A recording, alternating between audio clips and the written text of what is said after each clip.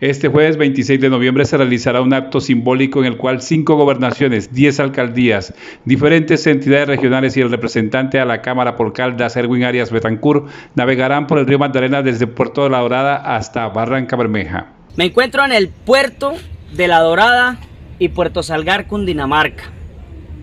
Este jueves zarparemos hasta el puerto de Barranca Bermeja, una vez más para demostrar que el río Magdalena es navegable hasta el centro del país. Este viaje por el principal río de Colombia tiene como objetivo hacer un llamado unificado al gobierno nacional para que el proyecto de navegabilidad del río Magdalena llegue hasta La Dorada y Puerto Salgar. Gracias a los gobernadores de la región, en cabeza de Luis Carlos Velázquez, gobernador de Caldas, a los señores alcaldes de los municipios del Magdalena Centro, por montarse en esta gran idea, en esta gran batalla, para que el gobierno nacional nos garantice los estudios de batimetría y podamos tener el río navegable para todos. Señor presidente Duque, el río es navegable desde el centro del país hasta la costa caribe. La embarcación partirá desde La Dorada a las 5 de la mañana y finalizará en Barranca Bermeja con una reunión de trabajo en la que también participará la Corporación Autónoma del Río Magdalena, Cor Magdalena.